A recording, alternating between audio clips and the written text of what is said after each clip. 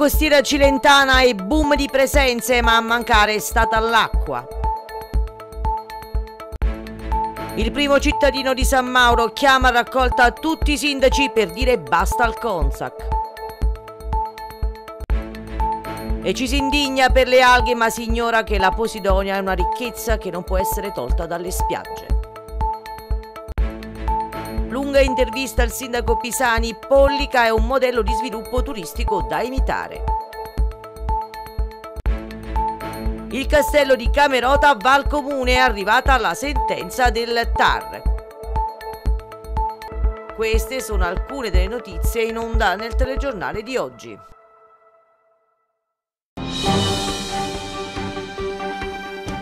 La condotta Faraone è collassata. Almeno questo sembra nonostante che i numerosi avvisi di Consac Gestioni Idriche SPA, ente gestore del servizio, dicano che gran parte dei rubinetti siano rimasti a secco per aumento dei consumi. In effetti nel Cilento ci sono stati moltissimi turisti ed avventori, ma paradossalmente l'interruzione idrica proprio in quei comuni ad alta concentrazione turistica è stata necessaria per guasti, mentre in alcuni dei comuni collinari per improvviso incremento dei consumi idropotabili. Da venerdì a domenica da Centola Parinuro a Castellabate è stato un vero, è il caso di dire, stillicidio, ma di acqua. Molti cittadini hanno protestato pure sulla pagina Facebook dell'ente con messaggi al vetriolo dicendosi stanchi di una situazione che si protrae da anni e che peggiora sempre più. Mai, scrivono in molti, erano stati lasciati a secco tanti comuni nel mese di giugno, ancora prima dell'inaugurazione della stagione balneare vera e propria e che adesso stenta a decollare a causa del coronavirus. Le interruzioni idriche, secondo molti, non potrebbero addebitarsi all'aumento dei consumi, come nel caso di San Mauro Cilento, un paesino semicollinare dove il sindaco, in un tour organizzato proprio per rispondere all'ente, ha fotografato decine e decine di abitazioni chiuse e abbandonate, aggiungendo che semmai nel suo comune si sono registrati numeri opposti, zero nuove presenze. Stessa cosa nel comune di Pollica, dove venerdì 19 il servizio è stato sospeso nel centro abitato del capoluogo, a Celso, nelle campagne limitrofe e nella zona serre di Acciaroli, quindi luoghi dove si contano zero turisti.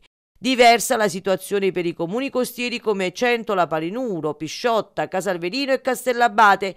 Qui è stata la rottura degli impianti a lasciare le abitazioni e i locali commerciali a secco, mentre procede la posa del tubo di potabilizzazione che dovrebbe portare l'acqua da Casalverino verso altri paesi costieri, in primis a Pollica, poi a San Mauro Cilento che invece di acqua potabilizzata vuole acqua potabile in tubi nuovi possibilmente così da evitare i guasti continui.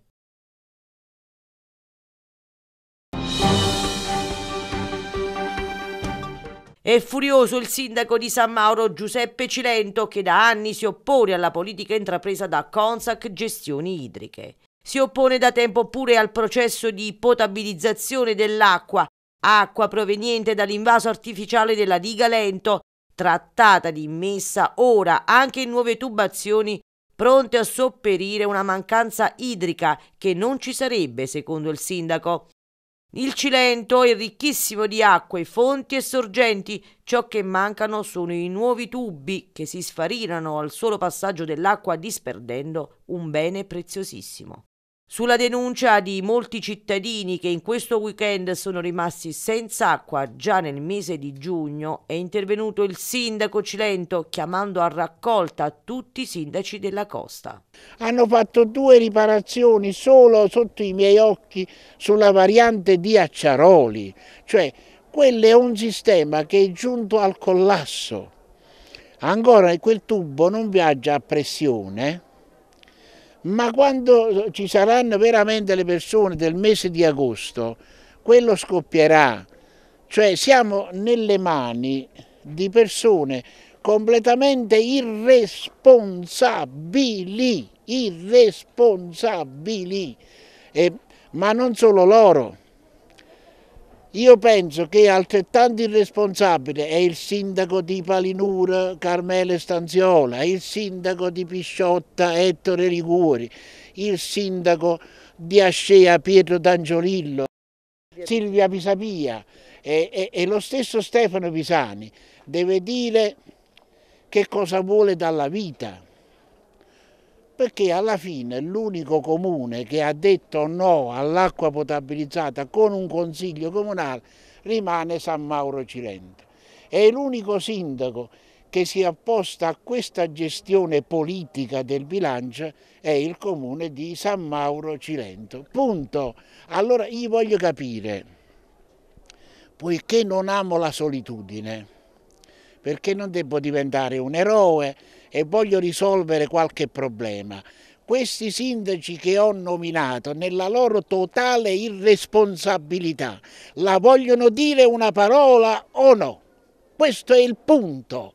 Lo dico con il sangue agli occhi nei loro confronti, che sono degli irresponsabili, perché hanno lasciato nelle mani di altri irresponsabili eh, eh, un consiglio di amministrazione di quattro soldi, eh, cioè l'ingegnere Parilli va licenziato, va licenziato, perché oggi le reti sono al collasso. Questo è il punto. Che cosa è successo di nuovo da quando c'è lui, che c'è stato per più di vent'anni, sulle reti del Conte? Nulla. Ma possibile mai che, in poche parole, i sindaci si mettono d'accordo per abbassare la qualità di questo territorio, per cui se noi vogliamo bere dobbiamo bere acqua minerale.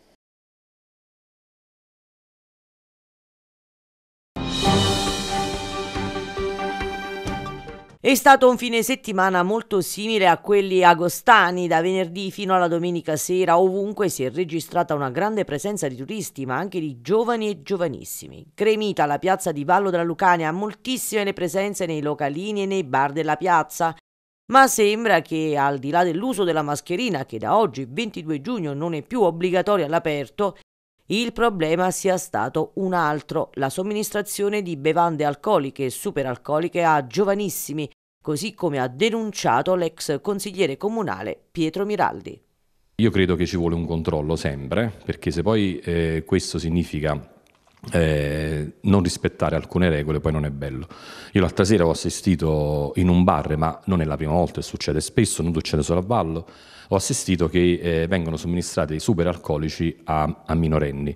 È vietato dalla legge, è anche un fatto etico e quindi ho invitato, infatti ho scritto un messaggio sia al comandante dei, dei vigili urbani Musto sia al maresciallo Sergi ad essere un poco più un poco più rigorosi, ecco, perché secondo me un controllo, un controllo ci vuole, perché poi non vorrei che dall'alcol poi cioè, si passa a sostanze stupefacenti e per i nostri giovani cioè, non è bello. Quindi invito ancora una volta ai, ai giovani a rispettare, i genitori a fare un controllo sui propri figli, soprattutto minorenni, e alle forze dell'ordine a fare questi controlli, perché non è bello poi ecco, che un paese sì, c'è cioè movita, però se poi deve essere una movita eh, che è anche particolare sotto certi punti di vista, non è bello. Il mio non vuole essere assolutamente un allarmismo, però è come cittadino vallese, è come genitore anche di un, anche di un bambino minorenne, non vorrei che, che poi queste cose vengono, cioè poi diventano abitudini.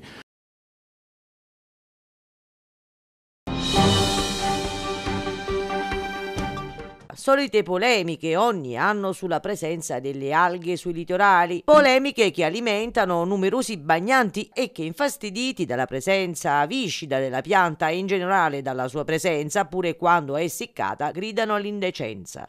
E invece è bene sapere che l'alga in questione non è uno scarto né, come molti la definiscono, una schifezza. La Posidonia, l'alga che vive nei nostri mari e che in questi giorni la si ritrova sui litorali, è un preziosissimo indicatore biologico e importantissima per l'ecosistema marino ed è pure una risorsa per contrastare l'erosione costiera. Non tutti sanno, ed infatti se ne scandalizzano, che la Posidonia, per le ragioni appena elencate, non è una nemica da distruggere perché invade il litorale, che rientra in un normale ciclo biologico, ma per legge va protetta e dunque sarebbe necessario capirne non solo l'importanza che ha nei nostri mari, pluripremiati dalla bandiera blu, ma anche imparare a conviverci perché la legge parla chiaro. La Posidonia deve rimanere lì dove si trova, Solo in casi indifferibili può essere spostata ex situ, cioè in un luogo diverso da dove è stata raccolta. Per chi volesse saperne di più,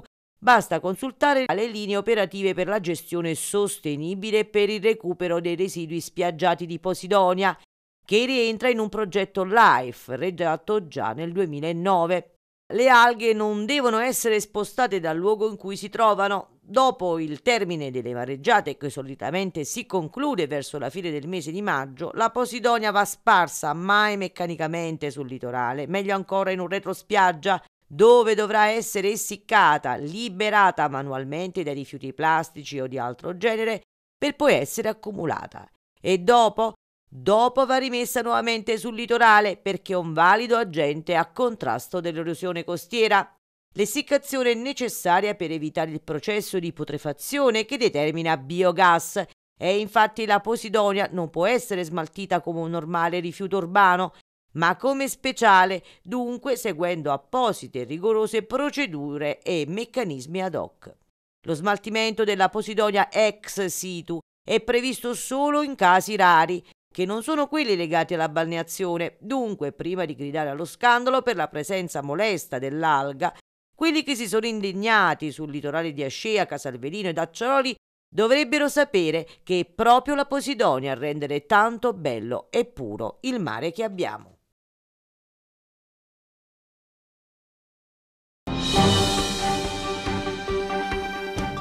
Non stupisce che la Poseidonia costituisca un problema per i più se il consigliere d'opposizione Antonio Pesca, Movimento 5 Stelle, la definisca tale e dimenticando che una normativa c'è, addirittura si dice impegnato nella gestione da tempo come Movimento 5 Stelle nel trovare una soluzione che già esiste. Credo che sulle spiagge noi come movimento stiamo portando avanti una battaglia che è quella relativa a come risolvere il problema della Posidonia. Noi abbiamo un progetto molto serio e valido, cioè che è quello di cominciare a separare la Poseidonia e, altre, eh, e le altre cose negative che ci sono dalla spiaggia. Questo perché? Perché abbiamo raggiunto due grandi risultati, che è quello di ottenere una, spiaggia, una, sabbia pulita da poter integrare sulla spiaggia stessa, quindi sulla battigia, e quello di avere una, anche le alghe pulite da poter eventualmente poi riutilizzare anche nel, nel mare, perché una volta che le, le, alghe sono pulite si possono fare. Questa è la nostra battaglia. La mia è un'opposizione tenace, dura eh, sulle problematiche, ma veramente dura.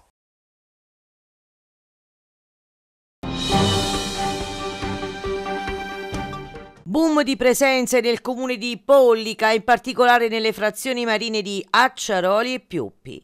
Niente di inaspettato per il sindaco Stefano Pisani, da anni il suo comune registra un numero di presenze sempre più alto perché crescono i servizi, l'attenzione per la sostenibilità ambientale mentre si affina una strategia turistica di rilancio che passa dalla balnearità all'erogastronomia senza tralasciare gli eventi culturali.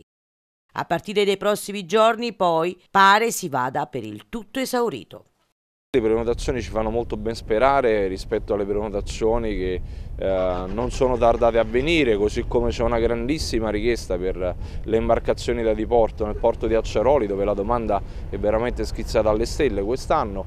Eh, devo dire che i riconoscimenti non sono mai scontati e soprattutto non sono nemmeno così naturali, sono frutto di grande lavoro e di grande fatica soprattutto quando non hai a disposizione tante risorse di bilancio da impegnare per i servizi e quindi si fondano anche sull'aiuto e sul supporto degli operatori turistici.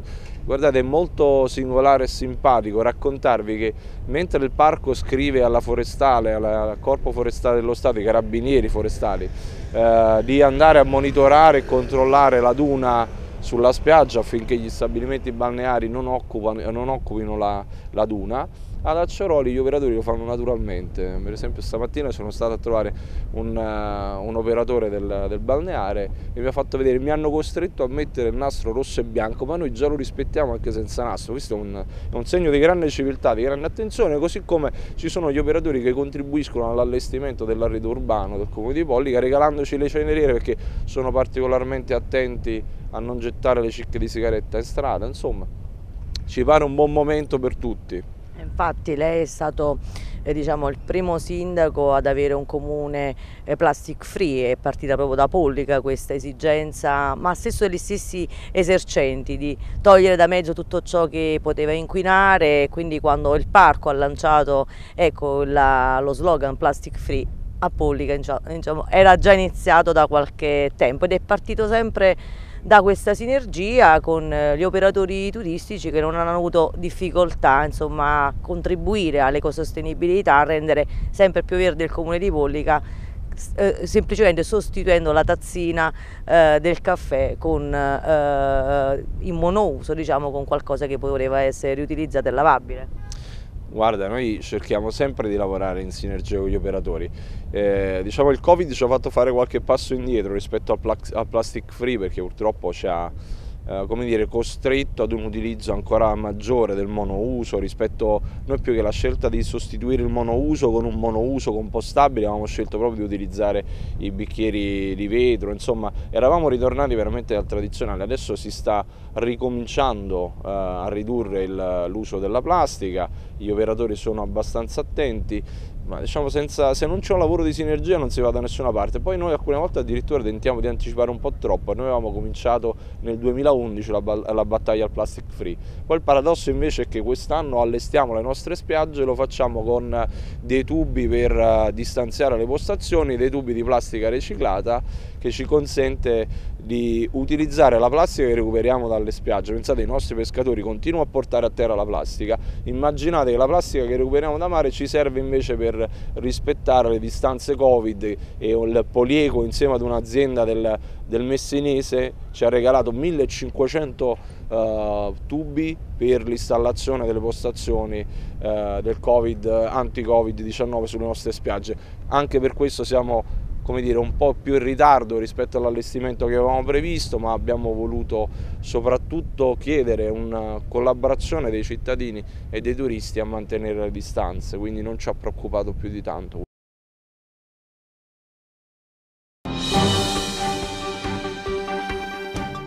Primo giorno in assoluto di chiusura al traffico del lungomare della città. Sabato e domenica quel che accade da decenni in altre località costiere è accaduto straordinariamente ad Agropoli e come ci si aspettava l'interdizione al traffico veicolare, considerato il fatto che sul lungomare insistono molti locali serali, non poteva essere che ben accolta, non solo dai commercianti ma soprattutto dai turisti, residenti ed avventori. L'unico neo pare sia il traffico che incolferebbe l'uscita Agropoli Sud e non solo, come pure la mancanza di opportuni parcheggi, ma il sindaco è fiducioso di livellare i problemi. Innanzitutto in una prima valutazione, ora diciamo è ancora mezzanotte, quindi stiamo cercando di raccogliere un po' le idee. Però la prima cosa che posso dire è che probabilmente l'orario di chiusura alle 8 è troppo presto perché tra le 8 e le 9 ancora c'è un forte traffico in uscita dalle spiagge e eh, quindi probabilmente dobbiamo spostare la chiusura alle 9. Eh, sicuramente la chiusura alle 9 ci aiuterà molto perché la prima ora è stata un poco critica. Poi dalle verifiche che abbiamo fatto, insomma, eh, fino alle 10 c'è stato un poco di criticità eh, all'altezza del sottopassaggio, dopo le 10 invece si è regolarizzato il traffico, non c'è stato più problema. Eh, quello che naturalmente è mancato stasera, probabilmente perché c'è stata forse preoccupazione da parte di taluni, è, è, la poca presenza insomma, sul lungomare, nel senso che c'era gente ma non quella che si aspettava. E, e, mi raccontano invece, io non sono stato, ma i vigili mi hanno fatto un monitoraggio completo della città e mi hanno raccontato che invece la piazza Vittorio Veneto era stracolma di gente. Bene, e quindi probabilmente il, la serata ha un po' spaventato insomma, gli avventori. Quindi devono anche i cittadini capire insomma, che eh, tutto funziona e funzionerà bene. Quindi per il momento un giudizio diciamo, sospeso a ulteriori verifiche. Eh, non, c'è stato il disastro annunciato come qualcuno immaginava, insomma. si parlava insomma, di file chilometriche che io non mi pare di aver visto e neanche di improvvisi oscuri da parte delle persone. Via Risorgimento, al contrario di quello che ha detto qualcuno, lo possiamo vedere alle nostre spalle, è pieno di automobili, quindi il fatto che il lungomare è stato chiuso non ha danneggiato il traffico via Risorgimento.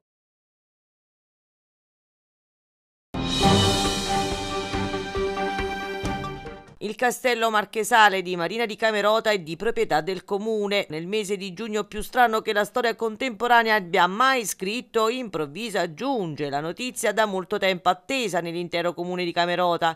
Il TAR della Campania, sezione di Salerno, si è pronunciato nel merito ed ha stabilito con parole chiare e inequivocabili che il palazzo marchesale per tutto il castello è di Marina di Camerota e della sua grande comunità. Le ragioni che hanno indotto il comune di Camerota ad esercitare il diritto di prelazione, affermano dalla Casa Comunale, sono esposte nella proposta motivata di prelazione inviata dal comune all'amministrazione dei beni culturali, sulla cui base quest'ultima ha rinunciato alla prelazione a sé spettante. È in questo passaggio che è racchiuso il senso più profondo della sentenza del TAR di Salerno, quella che assegna in maniera definitiva il simbolo di Camerota all'ente, rappresentato in giudizio dall'avvocato Marco Sansone, che validamente aveva esercitato l'anno fa il diritto di prelazione. Dopo la pronuncia cautelare del Consiglio di Stato dal febbraio scorso, che aveva ribaltato la prima ordinanza dell'autunno, Dunque il Tribunale amministrativo mette la parola fine all'intera vicenda, a meno che la società ricorrente decida di ricorrere in appello.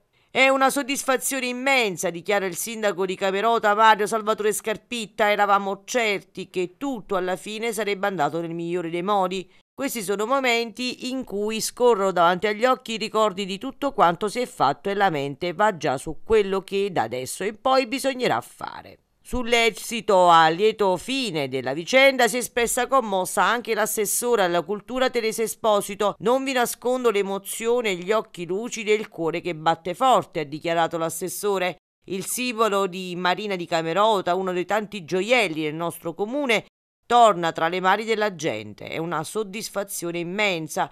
Trovo difficoltà a pronunciare le parole giuste perché sono davvero felicissima per la mia gente. Ora subito al lavoro per trasformarlo nella gemma che merita di essere.